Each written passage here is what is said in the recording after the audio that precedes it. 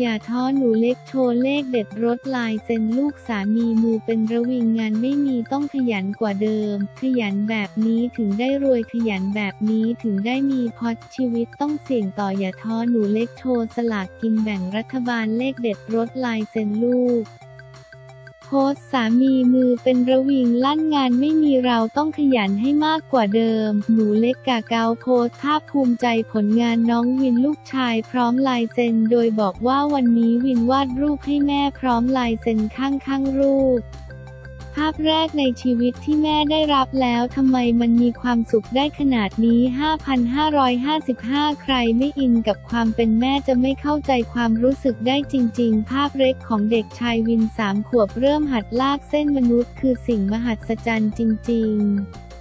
แม่จะเก็บเอาไว้ให้วินดูตอนโตนะ เครื่องหมายสี่เหลี่ยมพี่วินเครื่องหมายสี่เหลี่ยมเก็บไว้ให้วินดูก่อนจะโพสโชว์สลากกินแบ่งรัฐบาลในมือหลายใบ เลขท้าย 85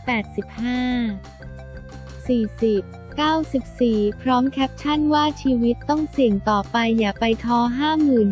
55,555 ลายเซ็นวินกับเลขรถนะคะงานนี้เอิร์กพรหมพรก็ถึงกับบอกว่าต้องตามและด้านแหม่มสุริวิภาและแอนนาชวนชื่นก็ส่งกำลังใจให้สู้ต่อ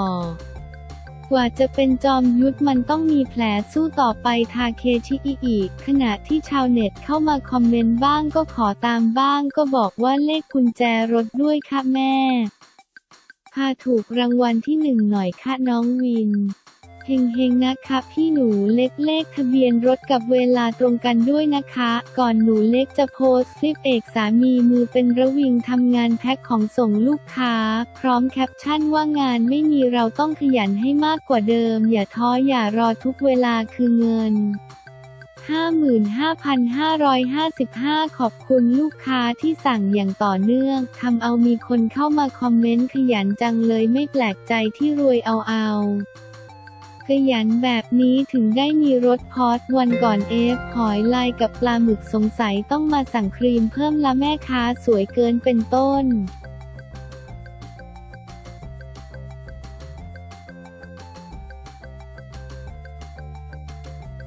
ติ๊กเจษดาพรหวนร่วมงานอ้ำพัชราภาในรอบ 18 ปีขึ้นแท่นผู้จัดเรื่องแรกติ๊กเจษดาพรหวนร่วมงาน พลิกบทบาทใหม่สู่ความท้าทายที่แฟนๆรอคอยสำหรับพระเอกหนุ่มติ๊กเจษดาพรผลดี ขึ้นแท่นผู้จัดละครป้ายแดงช่องเจ็ดผลงานละครเรื่องแรกลมพัดผ่านดาว งานนี้ได้ซุปตาสาวอ้ำพัชราภาชัยเชื้อหวนมาแสดงละครร่วมกันอีกหลังในรอบ 18 ปี โดยติ๊กเจษดาพรได้ให้สัมภาษณ์ว่า คิดว่าน่าจะมีข่าวไปบ้างแล้วเราก็ดีใจว่าวันนี้จะได้มาบอกข่าวอย่างเป็นทางการว่าตัวติ๊กเองกำลังจะมาเป็นผู้จัดละครให้กับช่องเจ็ดครับ มีข่าวว่าอ้ำพัชราภามาเป็นนางเอกจริงไหม จริงค่ะ ยิ้มสำหรับเรื่องนี้เราก็ติดต่อผ่านทางสถานีช่องเจ็ดครับว่าเราพอจะขอตัวนางเอกคนนี้หน่อยได้ไหมครับ ทั้งนี้ทั้งนั้นก็ต้องถามตัวพัชราภาว่าเขาอยากจะเล่นละครหรือยังพร้อมไหมติดงานอะไรหรือเปล่าค่ะ พระเอกจะเป็นเราเองหรือเปล่า ในเรื่องก็มีผมเล่นด้วยค่ะก็แง้มแง้มว่าเป็นส่วนหนึ่งในนั้นดีกว่าทำไมเรื่องแรกก็เลือกเป็นอ้ำพัชราภาเนื่องจากว่าบทละครในเรื่องนี้ค่อนข้างที่จะต้องใช้คนในคาแรคเตอร์แบบพัชราภา เราก็มองว่าจะเป็นใครก็เป็นใครไม่ได้อีกแล้ว เพราะเรารู้สึกว่าต้องเป็นผู้หญิงคนนี้เท่านั้น ตอนติดต่อไปเขาตอบรับยังไงบ้าง แน่นอนเราก็ต้องบอกว่าเราพยายามที่จะทำอะไร ทั้งในการพูดคุยกันในการส่งเรื่องย่อตัวละครต่างๆ ที่จะเล่นรวมถึงทีมงานผู้กำกับต้องใช้ลูกอ้อนขนาดไหนกว่าเขาจะใจอ่อนคือผมว่าเราใช้ความจริงใจ หัวเราะเป็นครั้งแรกเลยไหมที่จะได้ร่วมงานกันจริง ๆ เคยเล่นละครกันมาหนึ่งเรื่องแล้วถ้าย้อนกลับไปเมื่อประมาณ 10 ปีที่แล้วนางสาวจริงใจกับนายแสนดี ถ้ายังจำกันได้ทางช่องเจ็ดแล้วก็กลับมาอีกครั้งหนึ่งหลังจากห่างหายกันไปนาน ถ้านับแล้วน่าจะ 18 ปีโห 18ปีได้เจอเธออีกครั้งหนึ่งเธอยังปิ๊งเหมือนเดิม ต้องมีการปรับการทำงานยังไงบ้างไหม ในการทำงานร่วมกัน คือณตอนนี้เรายังไม่ได้เจอกัน แต่ก่อนที่จะทำงานร่วมกันก็ต้องมาเจอกันก่อนมีเวิร์กช็อปมานั่งอ่านบทแล้ว ผมเชื่อว่าในการปรับต่างๆ ไม่น่าจะยาก เพราะคิดว่าด้วยประสบการณ์การทำงานต่างๆ รวมถึงความเป็นมืออาชีพของความเป็นพัชราภาเอง เราก็ต้องยอมรับเราสามารถจูนกันได้แน่แน่อยู่แล้วครับรวมถึงในตัวของทีมงานและผู้กำกับ ผมเชื่อว่าส่วนผสมต่างๆ จะทำให้การทำงานนั้นเพิ่มความมีประสิทธิภาพมากขึ้น ยังมีความตื่นเต้นอยู่ไหมจะได้เจออ้ำอีกครั้งหนึ่ง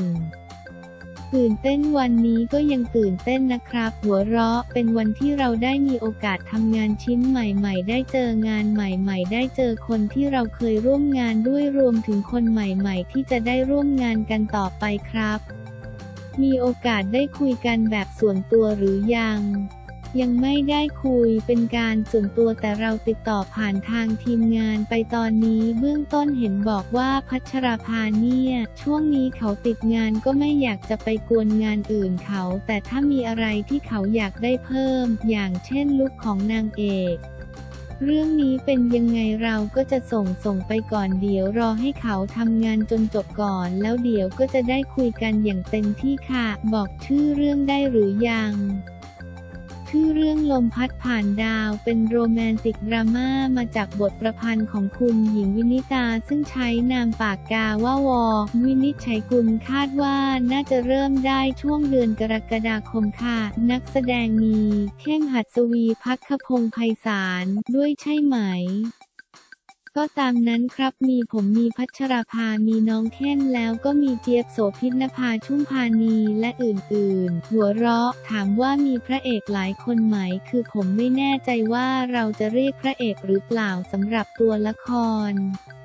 เราเรียกว่าเป็นตัวหลักของเรื่องดีกว่า มีประมาณ 4 คนแล้วก็มีนักแสดงช่องเจ็ดอีกหลายคนเลยเหมือนกัน รวมถึงนักแสดงคนอื่นๆ ที่มาเติมสีสันอย่างเช่นดีเจดาด้าดีจอ๋องซานิแค่ชื่อนักแสดงคนก็รอดูแล้ว เรากดดันไหม คือลำพังตัวเราเองในการทำงานเนี่ย ก็มีภาวะในการกดดันอยู่แล้ว เพราะว่าเราก็ต้องกังวลในหลายๆ อย่างงานชิ้นนี้เป็นงานชิ้นใหม่ ๆ ของเราเป็นงานละครชิ้นแรกที่เราได้ลงมือทำเองในทุกๆขั้นตอน ดังนั้นในแค่การทำงานก็กดดันอยู่แล้ว แน่นอนว่าสภาพสิ่งแวดล้อมต่างๆ รวมถึงผู้ชมเนี่ยเขาก็น่าจะมีความคาดหวังแล้วก็รวมถึงเรื่องนี้ยังไม่เคยถูกสร้างที่ไหนมาก่อน เราก็พยายามที่จะหาทีมงาน จัดสรรเรื่องราวต่างๆ รวมถึงในเรื่องของช่องว่างต่างๆ ที่เราอ่อนพยายามสร้างให้เป็นทีมงานที่แข็งแกร่ง เพื่อจะได้ขับเคลื่อนละครเรื่องนี้ให้ได้ดีที่สุด แฟนๆ ไม่เคยเห็นเราในบทบาทผู้จัดละคร อะไรทำให้เรารู้สึกว่าอยากจะมาทำตรงนี้ นั่นนะสิผมเองก็ไม่เคยเห็นตัวเองแบบนี้มาก่อนเหมือนกัน หัวเราะในการที่เราทำงานมันก็ต้องค่อยๆ มีพัฒนาการของตัวเองในระดับขั้นต่อต่อไปรวมถึงในส่วนของการทำงานเบื้องหลัง เราก้าวขาเข้ามาอีกข้างหนึ่งในการทำงานเบื้องหลัง ผมคิดว่าเราอยากจะเปิดโอกาส ผมเป็นคนเปิดโอกาสให้คนอื่นและตัวเอง ในเมื่อณเวลานี้เรามีโอกาสแล้วเราก็อยากจะได้เห็นงาน หรือว่าสิ่งที่เป็นเรื่องราว ที่ยังไม่มีใครทำแล้วผมเองก็อยากจะทำดังนั้น เราจะลองดูจะลองทำด้วยตัวเองต้องขอบคุณมากที่ทางช่องเจ็ดให้โอกาสกับผมครับงานแสดงอื่นๆ เราก็ยังรับอยู่ใช่ไหม ยังรับนะครับเป็นพระเอกใช่ไหมครับ ถ้าเขาให้เป็นนะครับ หัวเราะทุ่มทุนสร้างไหม ถ่ายในประเทศไทยครับ แต่ในเรื่องราวก็จะมีส่วนของต่างประเทศบ้าง แต่ไม่แน่ใจว่ามันสามารถจะมีมุมไหน ที่เราหลอกได้เปล่าก็ไม่น่าจะยากอะไร เพราะเดี๋ยวนี้เทคโนโลยีมันก้าวล้ำแล้ว ผมว่าผู้ชมเขาน่าจะโฟกัสในเรื่องของการแสดงมากกว่า โอเค ถ้าเรามีองค์ประกอบส่วนต่างๆ ที่มันดีขึ้นผมว่ามันก็จะส่งเสริมทำให้เรื่องนี้มันน่าสนใจเพิ่มมากขึ้น ทุ่มหมดหน้าตักเลยไหมในเรื่องของ production ต่างๆ อย่างนั้นเลยเหรอครับหัวเราะเรียกว่าเราพยายามที่จะทำงานอย่างเต็มที่ดีกว่า ผมก็เป็นแบบนี้ครับ พอเวลาเราทำอะไรก็จะทำงานชิ้นนั้น และรับผิดชอบงานชิ้นนั้นอย่างเต็มที่ครับ จะมีโอกาสพาน้องเต้นน้องปรินมาร่วมงานด้วยไหม ลูกๆในบทละครไม่น่าจะมีตัวนี้ในอนาคตเราไม่ทราบหรอกว่าทั้งสองคนเขาจะชอบแบบไหน ถ้าเกิดว่าชอบในแบบนี้เราก็ไม่ปิดอะไร เต็มที่น้องสนใจงานด้านการแสดง ตอนนี้เด็กๆสมัยนี้เขาจะดูพวก channel อื่น Facebook YouTube เด็กๆ เดี๋ยวนี้เขาก็อยากจะเป็นยูทูบเบอร์ผมว่าเขาอาจจะได้มีโอกาสเริ่มต้นจากสิ่งสิ่งนี้ก่อนถ้าเกิดเขาชอบนะครับ เขาได้ปรึกษาคุณพ่อ บางทีเขาอยากจะเล่นอะไรเขาก็แอบไปถ่ายเองเป็นเหมือนพิธีกรเอง เช่นแกะการ์ดโปเกมอนมาว่าเขาได้อันนี้นะเขาจะอัดคลิปไว้ น้องเคยติดตามรายการคุณพ่อ เขาได้ดูเจ้าป่าเข้าเมืองครับ เขาก็จะชอบในบางตอนโดยเฉพาะตอนที่เขามาอยู่ในรายการด้วย ก็จะดูวนๆหลายๆรอบ เขาได้สมมุติเป็นคุณพ่อ อ๋อเขาไม่ได้สมมุติว่าเป็นคุณพ่อนะ แต่ว่าเขาจะเห็นจากรายการเนวิเกเตอร์ บางทีเขาก็จะมากวนพ่อแซวพ่อ ใช่ครับ หรือบางทีอาจจะมีคนข้างนอกแซวเข้ามา หรือว่าฝากมาถึงพ่อ เขามีขอทิปหรือขอแสดง ไม่มีครับผมว่าตอนนี้ความสนใจของเขากับในด้านการแสดงยังไม่ได้มีอะไร เขายังสนใจตามสไตล์ของเขาในวัยเด็กครับ เล่นของเล่นสนใจเรื่องกีฬาและก็ยังไม่ได้สนใจเรื่องของวงการบันเทิงมากเท่าไหร่ เพียงแต่ว่าเขาดูรายการทีวีที่เป็นน้องๆเด็กๆ ที่เป็นยูทูบเบอร์มารีวิวของเล่น บางทีเขาก็อาจจะรีวิวของเล่นเป็นกับคนอื่นเขา หลายคนแซวว่าลูกๆจะเป็นคนมาลดความหล่ออมตะของติ๊ก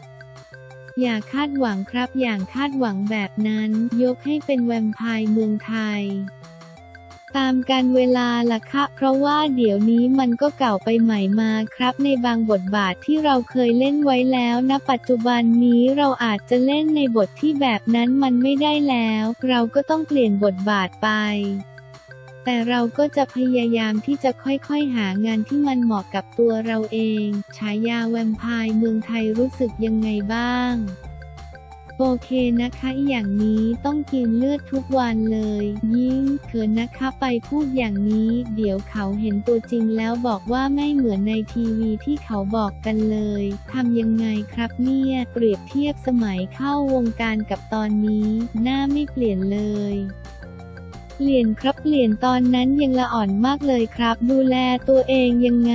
ก็ไม่ได้มีเคล็ดลับอะไร ผมว่าบางทีช่างที่เป็นเมคอัพเก่งก็ได้แล้วนะครับ ลบริ้วรอยต่างๆ ให้มันเนียนมันเนียน ผมว่าที่ผ่านมาผมใช้ชีวิตที่มันโลดโผนมาก ใช้ร่างกายเยอะอยู่ในป่ากลับมาก็ดำทีหนึ่งมือไม้ก็กร้านตอนนี้ก็อยู่ในป่าน้อยลงอยู่ในเมืองมากขึ้นก็ขาวขึ้นเริ่มได้พักผ่อนเยอะเดินทางน้อยลงผมว่ามันก็เหมือนกับเราต้องดูแลตัวเอง พื้นฟูดีๆ เพราะว่าเดี๋ยวต้องไปเจอน้องเข้มผัดสวีอีกแย่เลย ต้องถอดเสื้อกันทั้งคู่ใหม่ทั้งติ๊กทั้งเข้ม เดี๋ยวต้องรอดูอยากให้ถอดหมายใครอยากให้ใครถอดฮ่าฮ่าตื่นเต้นกับบทบาทผู้จัดมากน้อยแค่ไหน ตื่นเต้นมากผมว่ามันเป็นอะไรที่ต้องรับผิดชอบเยอะมาก มันคือทั้งหมดในเรื่องของศิลปะแล้ว มันคือเรื่องของการบริหารจัดการด้วย รวมถึงจิตวิทยารวมถึงศาสตร์หลาย ๆ อย่าง แต่ผมคิดว่ามันเป็นสิ่งที่ท้าทาย แล้วเราก็พยายามอยากจะทำให้สำเร็จครับ เพราะว่าผมคิดว่าเราเป็นคนไม่อยากจะอยู่อีกนี่ไงตรงนี้ อยากพัฒนาตัวเองต่อต่อไปอย่างน้อยๆ เราได้มีโอกาสลองดูอย่างเต็มที่สุดความสามารถ มันอาจจะไม่ดีก็ได้ หรืออาจจะดีไปเลยก็ได้เราไม่รู้ถ้าเกิดเรายังไม่มีโอกาสได้ทำมัน เห็นมาทำเพลงมีแอบมูเตลู หัวเราะจริงๆ แล้วตัวติ๊กไม่ได้มาสายนี้เลย ไม่แน่ใจว่าจะต้องทำยังไงในส่วนของทีมงานเราผู้กำกับโปรดิวเซอร์เขามีความเชื่อในระดับไหนผมคิดว่าเราต้องไม่เอาตัวเองเป็นที่ตั้งเอาส่วนรวมดีกว่าว่าส่วนรวมสบายใจในแบบไหน รวมถึงส่วนรวมของนักแสดงด้วย คือเราอยากให้ทุกคนสบายใจ มีที่ปรึกษาทางด้านจิตวิญญาณหรือยัง ยังไม่มีเลยครับมีแนะนำไหม ยิ้ม ช่องเจ็ดเองก็เยอะเลยนะเข้มเองก็สายบุญนะเคถ้างั้นผมมีที่ปรึกษาแล้วคือพัชราภากับเข้มโอเค เรื่องของการเปิดค่ายเพลงผลตอบรับเป็นยังไงบ้างตอนนี้ก็ดีนะคะช่วงนี้เป็นช่วงที่น้องๆเดินสายโปรโมทกัน ถ้าเกิดน้องไปเจอสื่อที่ไหนฝากด้วยนะจีบได้ค่ะ feedback ดี feedback ดีค่ะได้ดูจากในคอมเมนต์ที่ต่างๆ ถือว่าคอมเมนต์มาในเชิงที่บวกก็ชมในเรื่องของความสามารถของน้องรวมถึงในเรื่องของการที่เขาออกไปเจอสื่อต่างๆ เขาสามารถที่จะทำได้ดี take care ได้ดีรวมถึงสิ่งเล็กๆ น้อยๆ ที่เราสอนเขาไปเขาได้ทำในสิ่งที่เราสอน challenge มีไหม รักบ้าบอ Crazy Love Challenge เขาบอกพี่ติ๊กเต้นได้ เดี๋ยวก่อนใครบอกครับ น้องบอก เดี๋ยวอีกไม่นานคงจะได้เห็นกันครับ อีกไม่นานอย่าเลยครับ วันนี้มันสดไปหน่อยขอแบบที่มันสามารถ take ได้ดีกว่า ฝากผลงานผู้จัดป้ายแดง ขอฝากเนื้อฝากตัวด้วยนะครับ ผลงานที่กำลังจะเกิดกับงานใหม่ๆ ชิ้นนี้ที่มาเป็นผู้จัดทางช่องเจ็ดละครเรื่องลมพัดผ่านดาว ขอฝากด้วยนะครับ พยายามทำเต็มที่จะได้ดูเมื่อไหร่ ปี 2566 ครับต้องติดตาม แต่ช่วงระหว่างถ่ายทำคงจะมีข่าวคราวมาให้แฟนๆ ได้ติดตามตลอดเวลา ตอนนี้โลกเราค่อนข้างที่จะมีมีเทคโนโลยีสามารถสื่อสารกันได้ผ่านโลกโซเชียล ทั้งงานละครและงานซิงเกิลแรกของน้องๆ PROXIE ด้วยครับ